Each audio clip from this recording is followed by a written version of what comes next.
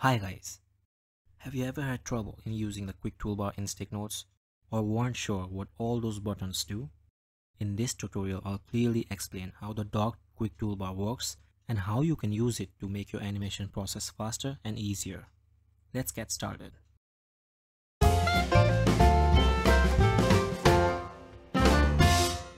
Alright, so we can use this tool while working with stick figures, movie clips, sprite, text and even camera. If it's not enabled for you, just go to sidebar and just click this button. Ok, to activate the QT bar, touch your stick figure. For now, we have only selected the main node. This changes the property of the entire stick figure. Let's go from top to bottom. First, we have the layering buttons, which lets you move your stick up and down, like seen in this example. Next with these three buttons you can copy, paste and delete your stick figures. Simple. Moving down you can flip your stickman horizontally or vertically. This button here lets you change the color of the entire stick figure. Next you can adjust the scale and rotation. This one allows you to move your stick figure horizontally or vertically. This last button here lets you join your stick figure with another nodes like this.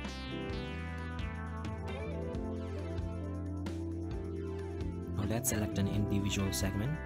You'll see few more tools appear. Let's go from bottom this time. This button lets you make your segment stretchable and you can also adjust its length by dragging it. Next you can adjust the thickness and scale of the segment this one allows you to move your segment horizontally or vertically, but remember the node must be stretchable. And this button here allows you to lock your node in one place. You can move the other nodes but not this one anymore. The join button does the same thing, it joins the entire stick figure to the another node. Now you'll see two color buttons here. The ones that's currently active lets you give the segment a different color from the rest of the stick figure like in this case red. If you disable it, it will be the default color of a stick figure. The other color button lets you create gradients. And you can even adjust the direction of the gradients using these buttons. Up here we have flipping options. And this little button allows you to add curves to your segments. Finally pressing this button returns to your main node. This is super useful if your stick figure has lots of nodes.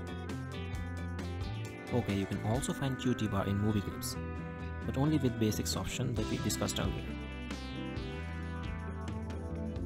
For sprites, we have two special buttons. The anchor switch, if this is disabled, the sprite will rotate around its main node. But if you enable it, the anchor point moves to the opposite end, changing how it rotates, like this one. The log ratio button when disabled, you can distort your sprite while scaling.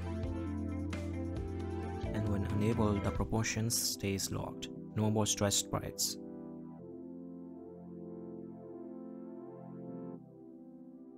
You also have QT bar in text editor. There are four dedicated buttons here.